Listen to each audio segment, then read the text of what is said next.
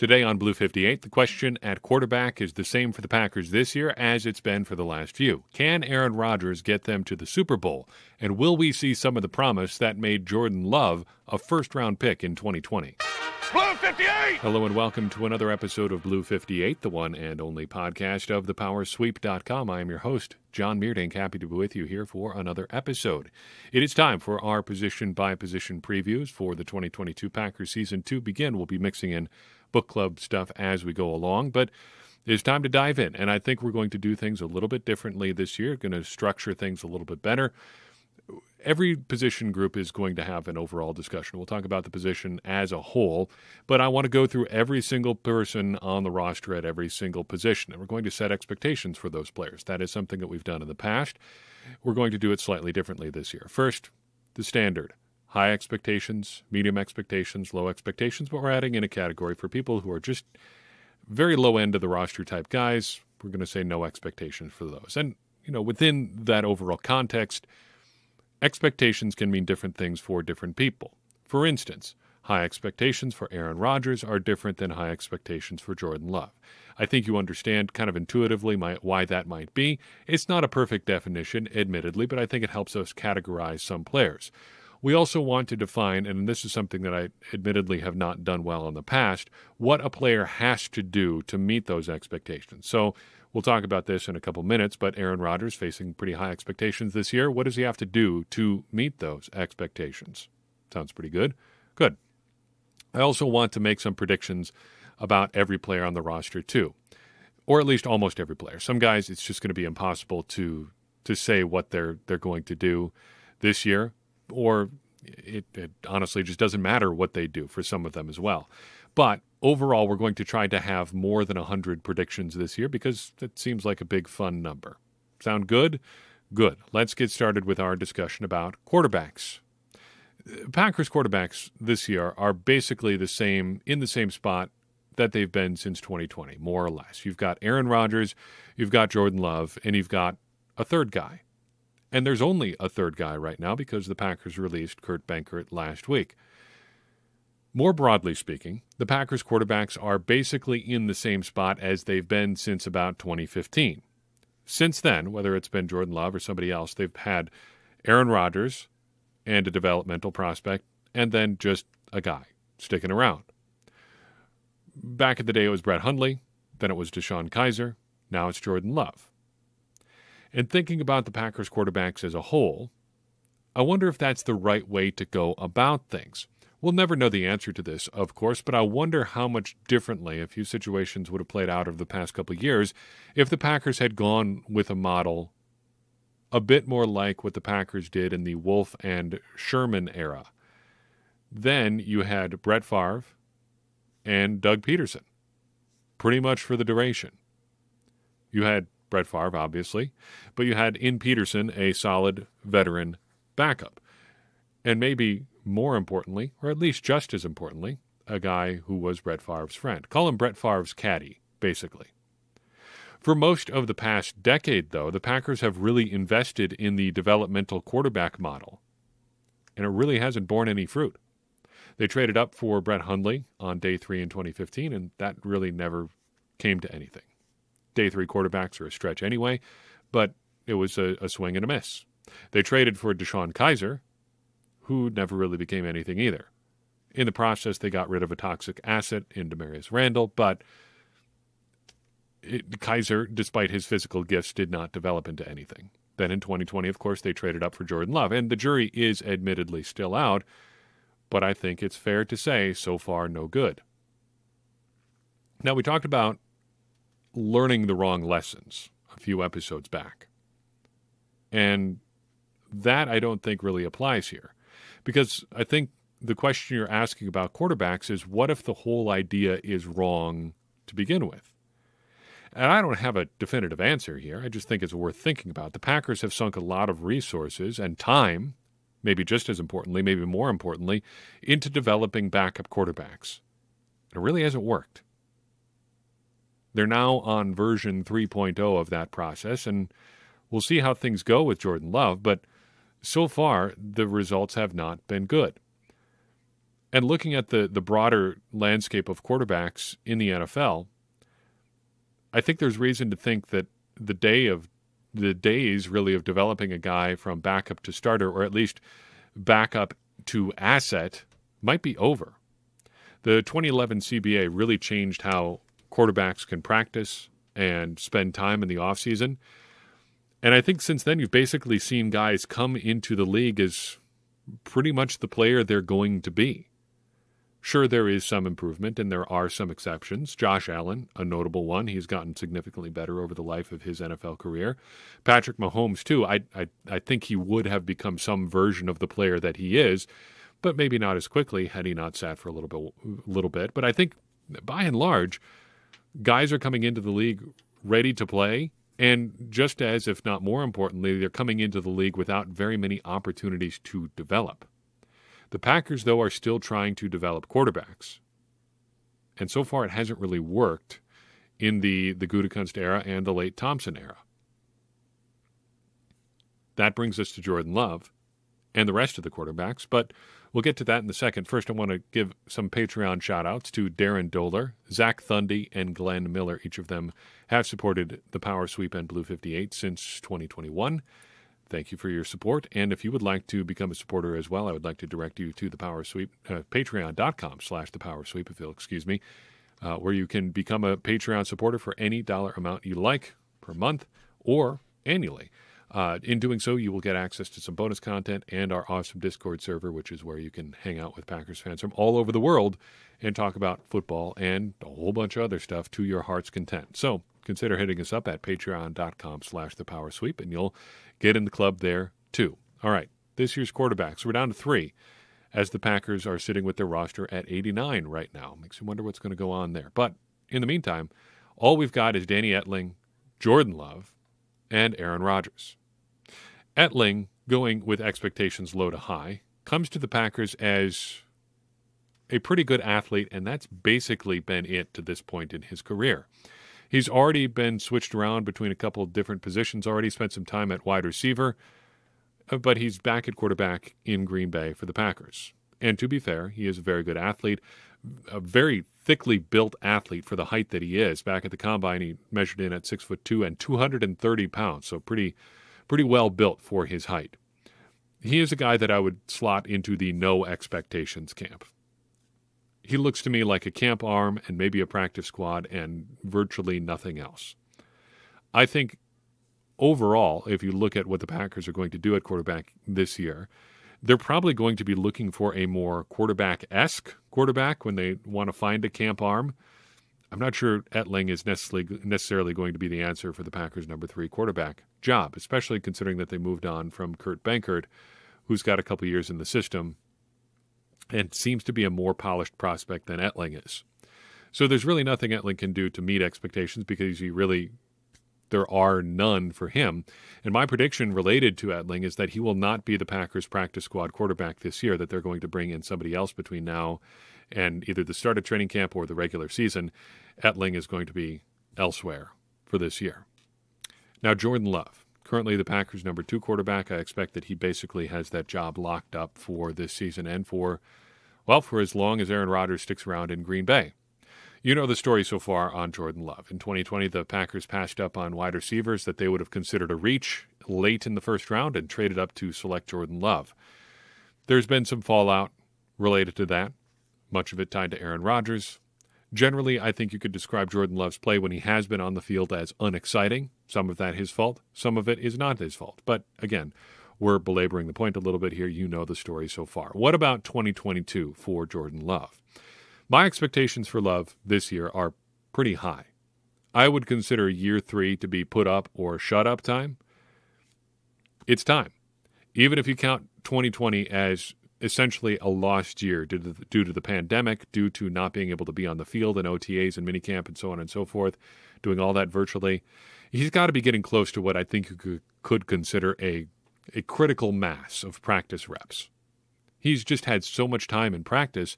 How many excuses can you really give him in terms of, you know, playing time opportunities? Admittedly, the game situations have not been ideal. He's hardly gotten onto the field under under great circumstances. Just as a recap 2021 preseason, he was a bit banged up, didn't go onto the field healthy.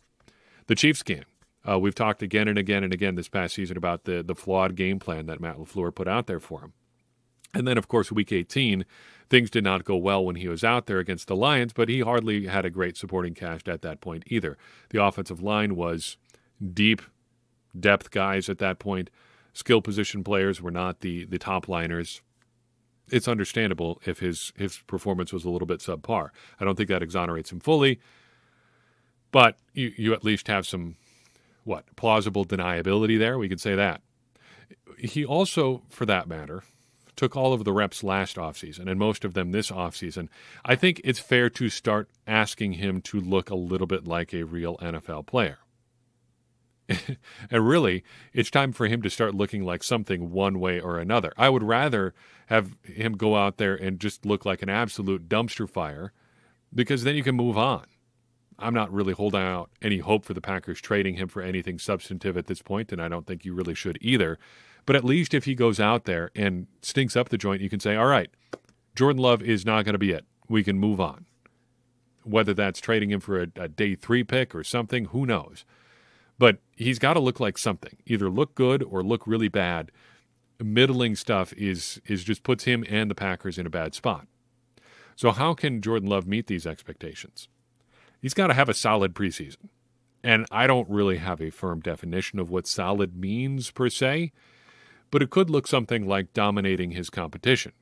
Now, he's not going to be going against the studs out there for the opposing defenses, at least not all of them. He's probably not going to have the full supporting cast either, though I would expect at some point in the preseason he'll go out there as the de facto starting quarterback with what amounts to the rest of the number one offense. What I would ask of Jordan Love is really just look like a varsity guy playing JV. Not to draw too much from my increasingly distantly removed um, high school playing career, but I can remember what it was like as a, a sophomore in high school, splitting time between playing playing games on varsity in basketball and playing games on JV. The varsity game at first was overwhelming. You get in there and it's just so so fast, but you start to get used to the pace of play. Um, you settle in, you, you realize you've got the skills to be there, so on and so forth. But then you drop down to JV again, and it's like everybody's playing in slow motion you'll run the same play that you ran well with the varsity guys on JV, and things just don't happen like quite as crisply as it does on the JV, JV level. And that's not throwing your own teammates under the bus. That has partly to do with the defense or whatever. It just wasn't as crisp. What you would like to see is Jordan Love kind of dominating his competition that same way. He's been with the number one guys. He's he's faced off against NFL defenses before. Now you get in there in the preseason, you're not playing a full NFL defense. Look like you are a man among boys out there. Show us that arm talent. Show command to the offense. Prediction wise, maybe it's just today. Maybe you catch me at a different time next week, whenever. But I'm feeling bullish on Jordan Love right now. I think that he will look good in the preseason. And I think part of that is going to be having wide receivers that are kind of on the same developmental level as he is. Previously, I think he was hurt by having to play with Rodgers guys. You know, Davante Adams, Marquez Valdes-Scantling, Equanimeous St. Brown. Those guys all had the offense fine tuned to work with Aaron Rodgers. And we know that the Aaron Rodgers offense is different than the Jordan Love offense, just by virtue of how long Love has been playing and how long Rodgers has been playing. Things are more finely tuned when Rodgers is out there. It's just a fact. But this year, you've got guys like Christian Watson, Romeo Doubs, even Sammy Watkins, Samori Toure, guys that Love is coming up along with, who are actually behind the developmental curve to where Jordan Love is. Maybe he can perform a little bit better with those guys who are running the offense tailored to Jordan Love instead of running the offense tailored exclusively to Aaron Rodgers. A theory, but I think one with a little bit of merit. I think he is going to look good in the preseason. If he doesn't, all right, then we can have a different conversation. What about the big man himself, Aaron Rodgers? One of the interesting things about this entire era of the power sweep is more or less the time in which we have covered the Packers. Dating back to 2016, we've talked about Aaron Rodgers being in legacy mode. really everything Rodgers needed to accomplish as a player had already happened by the time we started the powersweep.com and Blue 58 and everything that went with it. But since then, he's gone on the run the table run. He came back from his shoulder or his collarbone injury in 2017. He looked bad, but um, he, he came back from that and then was back in, in 2018 for the last year of the McCarthy era, settled in with LaFleur, and now won two MVPs. He's got nothing to prove. He's a really good player obviously. On the one hand, then, setting expectations for Rodgers is kind of kind of pointless. What can you really expect from him? But on the other hand, yes, obviously he is facing pretty incredibly high expectations, but he's played at a high level the last two years, and the Packers are paying him accordingly, so it's totally fair to expect the world from him. Looking at that question again, then, what does legacy mode even mean for Rodgers? I kind of think he's competing against himself at this point. The greatest of all time debate is dumb, of course. Um, I've gone on and on and on and on about that. But the, plain fact is, nobody's ever going to seriously put him ahead of Brady because the rings carry too much weight, rightly or wrongly. I think it's wrong. We don't have to unpack all that. I think it's it's a settled thing among the national media who are willing to say things like, "Okay, Tom Brady is going to go against the baby goat in Patrick Mahomes. So we've got two greatest of all times playing at the same time. Doesn't make any sense. You see the problem. But looking at Rodgers' legacy, what could that legacy mean? Well, for starters, another Super Bowl win would put him, I think, inarguably ahead of Brett Favre in Packers lore, which is not inconsiderable considering the way that Aaron Rodgers came into Green Bay and started his Packers career. People are still going to argue about that forever because that's what people do, but I think it would put him ahead of Brett Favre if you're into ranking things. He's also got the possibility of setting every Packers record in the, the every Packers passing record. That is, he's already got the the passing touchdowns one another two years would put him over the top on completions and yards, just for sure. Finally, I think the third part of his legacy is going out on his own terms. That's really been the deal the past couple of years with Rodgers. Is he's upset about, or has seemed to be upset about the um, uh, the perception that the Packers might move on, move on from him before he's ready to move on from football. Now, it's a pretty short list of guys that get to decide to go out on their own term. You want to circle back to Tom Brady even he didn't get to go out in New England on his own terms. If you believe the story about him trying to engineer his way to Miami this past offseason, look that one up if you haven't. He still hasn't been able to go out on his own terms, not even in Tampa. But Rodgers, I think part of his own legacy is going to be going out that way. And I think that's really it. Another ring, setting some passing records, and defining his own ending. That's legacy mode for Rodgers. What about this year? Expectations are obviously pretty high. He's still playing at a high level, or was last year and was in 2020. The Packers need him to play at a high level, so I don't think it's asking all that much for him to to meet those expectations. So how can he meet them?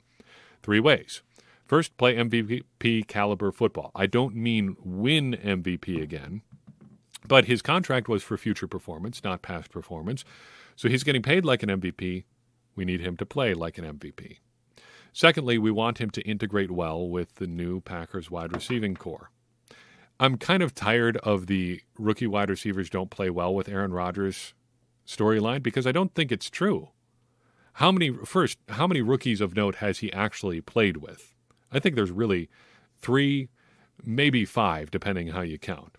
You've got Randall Cobb in 2011 I mean, you want to ding him for not putting up big stats as a rookie. How is he going to do that playing behind Greg Jennings, Jordy Nelson, James Jones, Jermichael Finley, and Donald Driver? He's what, the sixth option? I don't really know what you're looking for there. Davante Adams in 2014. Well, he did pretty well as the third option behind Jordy Nelson and Randall Cobb, who both had monster seasons that year.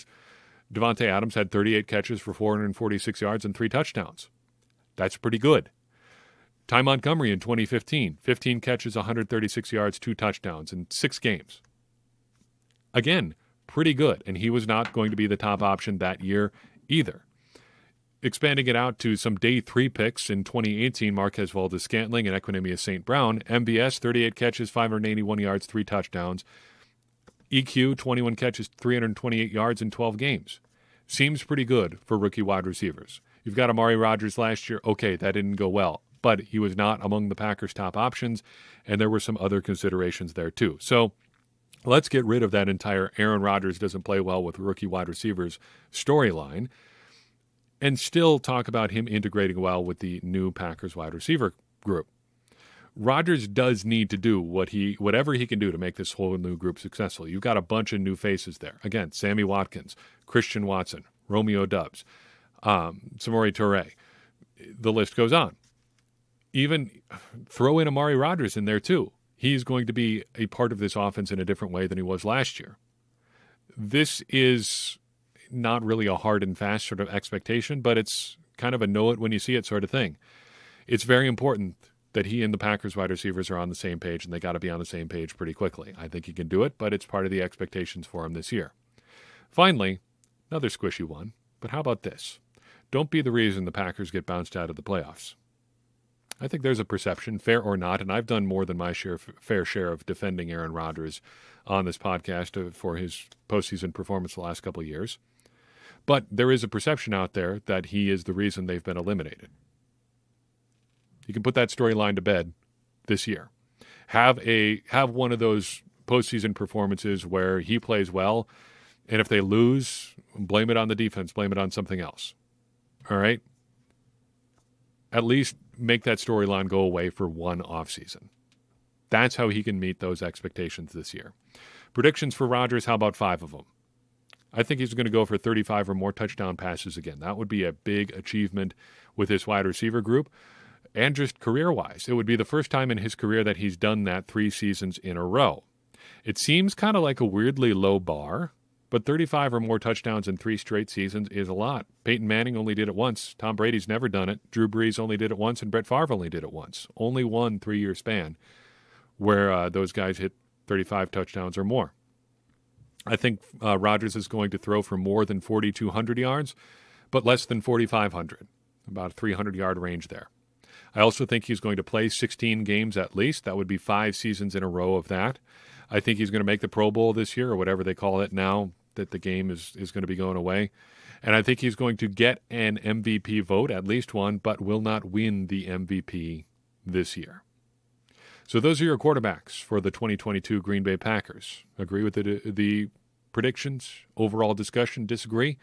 I'd love to hear your thoughts. Hit us up at the Power Sweep 1959 at gmail.com if you want to weigh in, or find us on social media, weigh in wherever you like.